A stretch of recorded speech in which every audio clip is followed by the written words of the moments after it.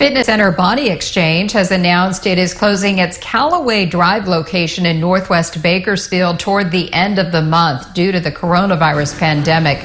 The location will close January 28th. The company says due to challenges it has faced during the COVID related shutdowns and lower business, it has chosen not to renew its lease.